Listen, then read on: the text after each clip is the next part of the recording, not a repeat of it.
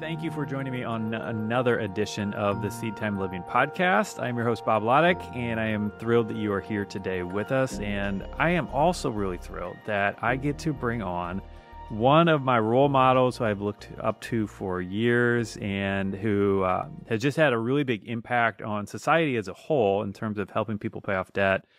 Anyway, without any further ado, her name is Mary Hunt, and she is a best selling author who has sold millions of books which is really interesting to me as I'm working on writing my first one this year. So, and you might know her from her website, Debt Proof Living, um, which has been helping people get out of debt since forever, basically. Anyway, so Mary, thank you for taking a few minutes of your time and joining me on the podcast. Oh, Bob, this is my pleasure. I am so excited to be here and to hear you your comments.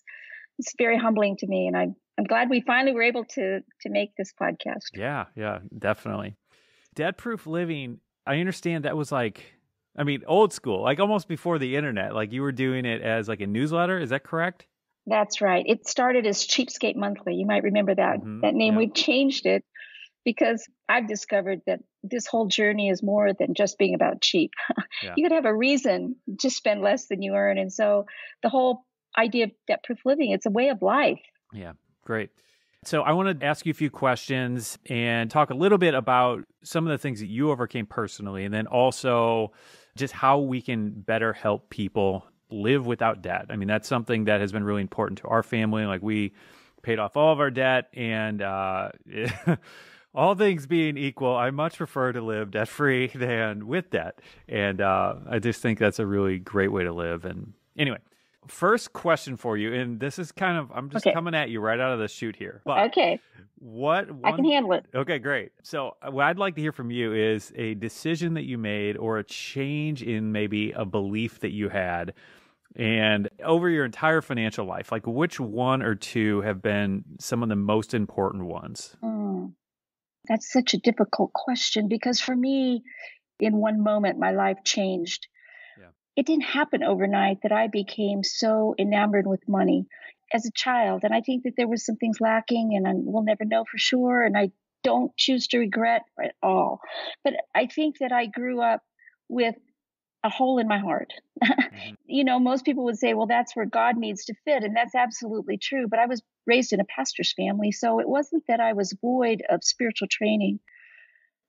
But in some way, I tried to fill a very empty, lonely, sad place in my life with money. And as a, yeah. you know, as a 11 year old child, how do you do that? So I dreamed, I mm-hmm. planned, and I fantasized about money and when I would get away from home. And boy, I'll tell you something. Even as a believer, which I'm, I'm sure that I had an experience as a child, but it wasn't until I was much, much older that that became very real to me. And Jesus Christ became the Lord of my life. But it was through all of that that I, I realized that I was trying, I, I, could never make enough money to make myself, you can't make yourself happy yeah. with money. I, yeah. You cannot fill that part of your life. And, and boy, did I try. And, and I nearly ruined my life, nearly ruined my marriage and everything. But came to that point where I had to just realize that, and this was tough one, the pain of the debt had to become greater than the pleasure of the purchasing and the spending.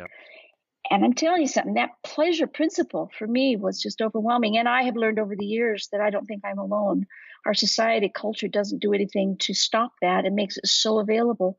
So I just got really wrapped up into a very, very carnal, horrible place in my life. And of course, it pains me to even say the words because it's just so emotional to me. But I was I drifted farther and farther and farther from the Lord because what I was doing in deceiving my husband and running up this horrible debt, in lying to creditors, to live, living this terrible double lifestyle was so contrary to God's word. Of course, I would flee from that. You know, yeah. the last thing I wanted was something that would remind me. And that was a very long answer to a very short question. Yeah. Sorry. no, no, that's great. I love that. I appreciate you sharing all that. So, if I remember reading right, you paid off over 100K of debt, like as you kind of transitioned, right? Absolutely. And it, it, my turning point, I can tell you the exact date was September of the 7th, 17th, 1982. I mean, you know, I can just, yeah. I can tell you right when it happened was when my whole life fell apart and I thought there was no redemption. And uh, God, I think I had to get to that place where he could finally get my attention. And it was an overnight experience for me. I can't say that the debt was paid back, didn't even know how much debt it was. My husband and I, neither one had a job. We were unemployed. We had two little boys for whom I was trying to live this rich lifestyle for them, of course. Yeah.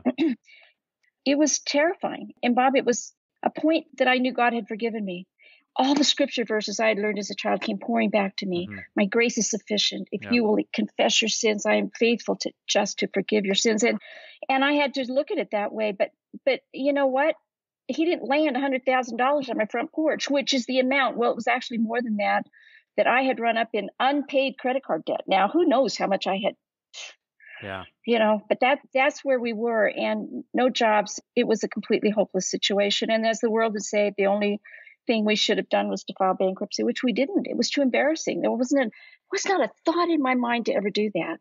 Mm-hmm. I made a promise to God that I would do whatever it took to pay back the debt. And Bob, first time in my life, I really meant what I said. I was in that much pain and and I was so assured of God's forgiveness.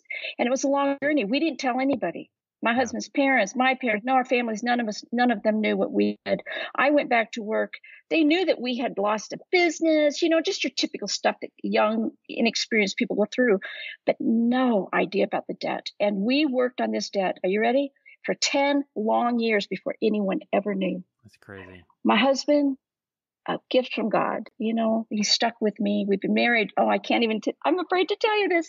We will be married 50 years in June. Congratulations. That's awesome. And that is a miracle of, of God's grace. Absolutely. So yeah. it was at the end of 10 years, we still had 12,000 to pay back. And that's when we had by then opened up a real estate company. See, mm-hmm. God, let, your life goes on. Our boys became teenagers. They went. Uh, one of them went to college during those years. Uh, we actually moved into another house, bought another house. So life goes on. We had a plan and a plan that really, really, really worked. And that's the joy of my life is to lead others out of debt. Yeah. The thing about bankruptcy, because this is an interesting question that I get a lot. I'm sure you get a lot too, particularly for Christians it's easy to just say, you know, a Christian should never file for bankruptcy because he should pay back what he owes. We have, you know, scriptures and verses kind of, uh, you know, to reference with this.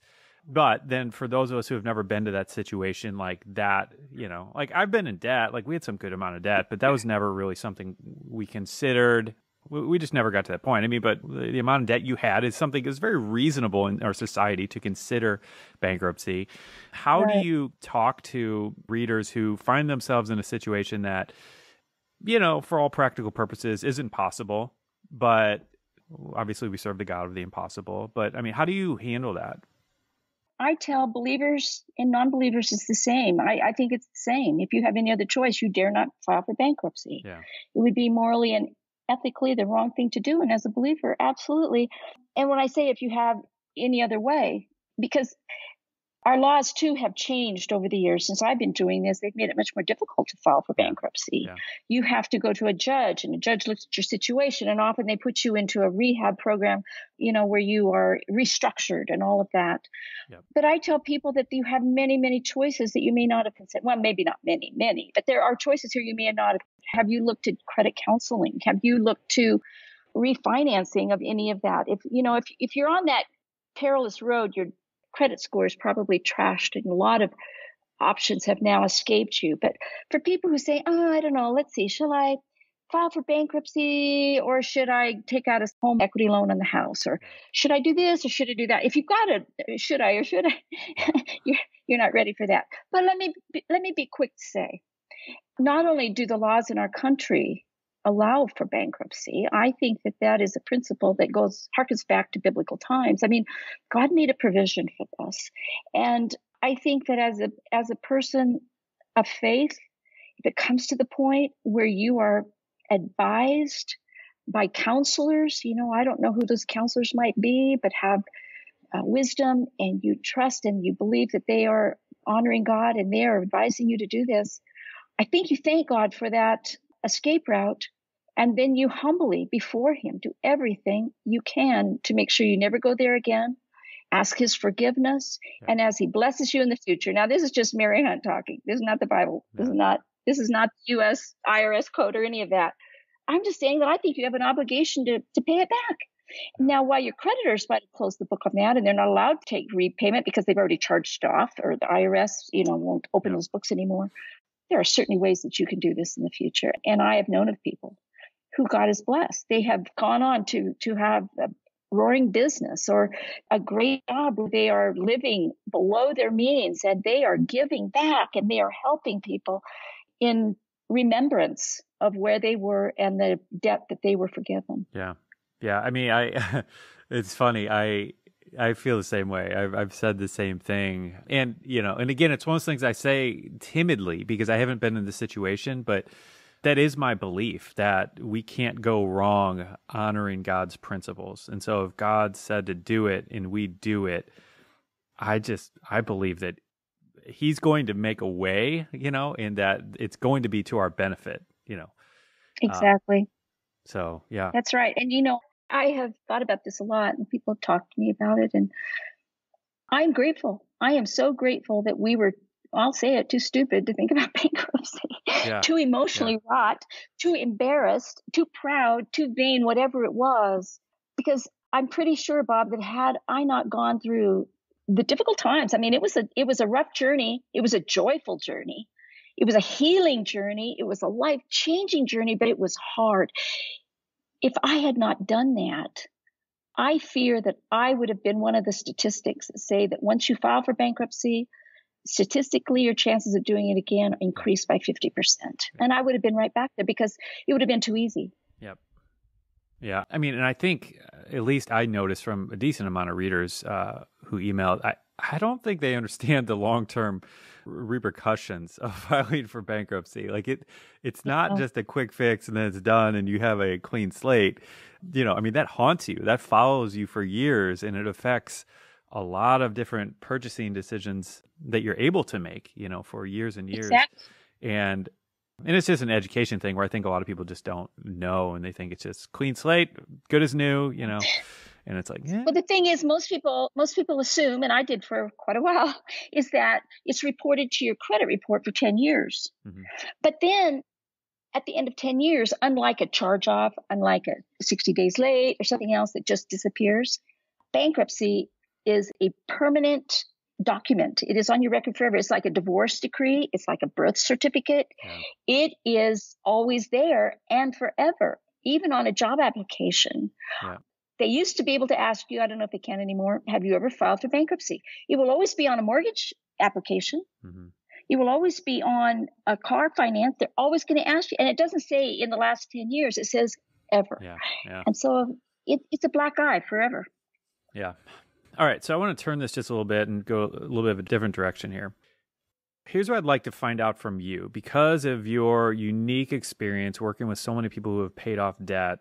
I would like to know what some of the common denominators are of people who you have seen who have successfully paid off debt. Oh, this is quite easy. They do not live from paycheck to paycheck. They have some money in the bank. It may not be enough to pay their expenses for three months, like we hear is pretty common what you need to have. Yeah. But even some amount of money in the bank changes your attitude. Yeah.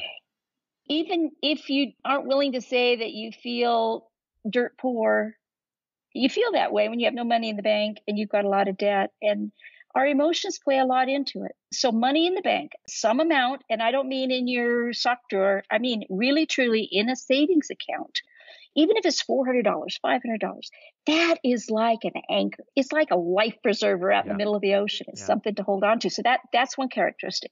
The next characteristic is that they are willing to take it slow. Now, I know the one thing we want to do is we want to get out of debt so fast. And so we go on these binges. It's almost like a crash diet where we're never going to eat out again. We're never going to have new clothes. We're never, the kids are never, never, never going on vacation. We're never going to do Christmas, all of that until we're yep. out of debt. Yep you can white knuckle that for a little while, but I have seen this happen so many times. It's like going on that diet where you're never ever going to eat another carbohydrate. You know, yep. you can't do that forever. it's yep. not sustainable. And getting out of debt, I think, needs to be like a slow cooker, not a pressure cooker. It's got to be a slow cooker, and you've got to have a plan that you're willing to stick to. And there has to be joyful moments along the way. Yeah. I alluded to that. It took us finally 13 years to pay off the um, $100,000 plus all of the interest. Hmm. and then it took us another seven years to pay off our mortgage. But we, like you, are debt free. And I'm telling you, oh my gosh, it's more than just joyful. It is yeah. life changing. It yeah. has impacted our lives. Anyway, so that's the second characteristic. They're willing to take it low and slow. The third characteristic is they have a way to be accountable. Now, I, I don't mean having to meet with someone and check it off, but I have found this place people find me as their accountability factor. People who've never met me. I mean, they hmm they adopt my rapid debt repayment plan. They become members of my debt proof living website. And also I have a free site called Everyday Cheapskate, which is more fun than anything. But anyway, they find me there and they write to me. And over the years, I have spent countless hours just communicating back and forth with people. Here, I'm here. I know where you are. I'm so happy that you you paid off one more credit card and we have little love fests and but but that's important. That's important to know that you're on a journey and you're not alone. And so, any way that you can do that. And some people are are hesitant to be that open with their personal life. You know, money is very personal to many of us, and so that that's the next thing is that is you've got to have some money in the bank to keep you afloat. You're not going to use it; it's just there because it changes everything. You're going to go uh, slow. You're going to go according to a plan. You're not going to go crazy. Like when you get your tax return, you're not going to throw it all to that one Visa bill just to get it. No, you're going to stick to your plan because every dollar that comes into your life, according to the debt proof living plan, has a purpose. Yep. And you treat every single dollar in the same way. And that is the way that's sustainable. And I've seen people take longer than I did, longer than 10 years, but they made it. And I'll tell you what, they're never going back. Yeah. Yeah. Our plan was very much like that. And we, we definitely made some major sacrifices and life changes, but I'm really thankful that I was thinking along those lines in terms of having milestones, having reasons to celebrate. And while we did cut back a lot, we still celebrated by going out to dinner here and there. And that was essential for us. And, you know, I've noticed like Absolutely. This is one of those things where I've been doing um learning more and more about the Enneagram lately, like, you know, so many people. And I'm fascinated by some of the different personalities that we all have. And yeah, and I've noticed that different people respond differently. So some people who I've talked to kind of help them work through paying off their debt have a stronger tendency towards maybe the, the rabbit in the uh, tale of the hare and the tortoise. Yeah. Where it's right. like I just want to run as fast as I can, and then they just kind of get distracted.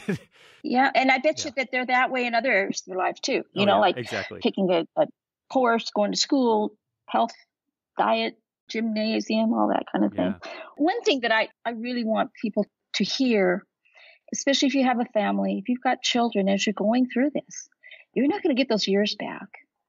And so to sacrifice birthday parties, to sacrifice Christmas, to sacrifice family vacations, I am just so adamant about this that we don't eliminate any area of spending from our lives unless you're, you know, a gambler or something. I don't know, something nefarious like that. Yeah. But but you cut back. But you don't you don't ditch entertainment until you get out of debt. These years you'll never be able to relive them. You make your vacations fabulous, but very, very frugal. The kids don't have to know about all this. Yeah. And don't, you know, I don't want parents to put this load of guilt and debt onto their kids. Well, we're in debt, so we can't, you know, no, that's way too much for kids to carry. So the joy of my life is to help people figure out how to do this. And yeah. Uh, it gives me a great boost as well. Yeah. So, talking about some of the people who you have seen fail, and I think they're the obvious reasons for failing might be some of the opposite of what you just said in the previous one. But are there any other mindsets, attitudes, or things like that yes. among those who fail that need to be resolved? Yes. I've never seen a fail yet that didn't start this way. It happened. We didn't know it was going to happen. We had an emergency. and you know whether that's a pregnancy, which you know for yeah, getting out of debt, and you find out you're pregnant. Well, especially if it's your first, you got the nursery and all that kind yeah, of thing, you know. Yeah. Or the refrigerator went out on Christmas Eve. We had to buy a new one, put it on finance. You know, it's that one little slip up but when it stems out in an emergency, I say you didn't have a good plan because there are very, very few emergencies that we cannot anticipate, even things that may never happen. I mean, that's why we have car insurance, okay? Yep. We no one intends to have a car wreck, but we have that kind of insurance. And so you have to look at everything in your life. You know Christmas is coming. You can never call Christmas an emergency anymore. Yep. You know these things, so you prepare for them. And that's the beauty of debt proof living plan is that we're not only a plan to get out of debt, but we're a plan to sustain, to anticipate, to hand credit, to do all of that. In fact, that's what my book, Seven Money Rules for Life, is all about. I mean, if you follow these simple seven rules that fit on the back of a business card, I'm not kidding, they really do. You don't have to print very small either. If you will just stick to these seven simple rules, those things aren't going to happen. You're going to be prepared and you will not find yourself falling back. But but what I'm saying, it, it's not, you know, falling off the boat to buy a ten thousand dollar speedboat or something. Mm-hmm. You know, um, I shouldn't say falling off the boat, um, falling off the plan to do that. It, it's it's emergencies, things that we think. Well, I had no other choice. I had to. The car, we needed tires. We had to put on a credit card, and yeah, that's a doomful thing. Yeah. All right. So for people who might not be even convinced that it's worth the fight or the challenge to actually pay off their debt, because that's one, one of those things that's been surprising to me. Because to me, it's like, why would you not want to be out of debt? Yeah. Like that just seems so logical and common sense to me. But I have encountered many people who just kind of like, eh, it's not worth the battle. What would you say to them? Well, I'd say that you're fallen into what our society is directing you to do. Yeah. You've become a puppet. You become a puppet because that's what the whole financial industry, Wall Street, all of them bank on is that people will live beyond their means, borrow money, pay interest, keep them in, in you know, in the big bucks. And, and that's what student loans are based upon, all of that. And when you realize that someone else is manipulating you to that, for some people that, that speaks. But I find to, to the younger generation, debt, credit card debt, student debt has become just a way of life. Well, yeah, yeah, who doesn't have it? I mean, they justify it in that way. I don't know a better way to help people see, but to scare them. I mean, you know, sometimes we just need to be scared to death because if you have all of this debt, if you have taken out a, an equity line on your home, if you have done all this and one thing goes wrong, because usually people who are deeply in debt don't have savings. 78% of Americans now admit to the fact that they don't have any. I think it's what one, less than $1,000 yeah. available. Well, that's not going to get you too far all of a sudden your lifestyle is no longer going to be optional. Like, oh, I carry the debt or I won't carry the debt. Okay, I'll talk next month. I'll think about it again. No, you won't have those options. Yeah. They're going to come after your house. You will not have food. You are going to have a very, very painful life. And then it may be hard for you to turn that back, especially if you've lost your job. So I don't know. I publish a lot of turning point stories. That's what we call them people's real life stories of how they did this, how badly they were off. And that has been very, very instrumental in many people's lives to yeah. to understand real life like that, to kind of grow up. That's what it is. You got to grow up. Yeah. All right. I just kind of want to tie things up with this question. Suppose you could tell the entire world one thing about money or debt or, you know, any financial related thing. What would that mm-hmm. be? Spend less than you earn. yep. That's the key, folks. Spend yep. less than you earn. Never spend it all. And then we go into the next rule save some from every single thing that comes into your life, give some of it away. If you will follow those rules, I'm telling you, as difficult as life can be, you will have margin in your life. And that's what we all crave. We want margin. We don't want to feel like we're smothering. And that is the first money rule for life. And as far as I'm concerned, spend less than you earn. Don't spend it unless you've earned it.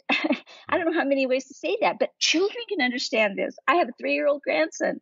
He understands this yep. because he's got the I wants. You know, I don't know if your kids have that yet. Uh, yeah, yeah, and and and they're not. Eh, eh, the minute they got the I wants, every I want everything I see, then they can start learning about this important principle that we save the money first, then we spend. And that's really failure to follow that rule where all the trouble comes from too. Yep.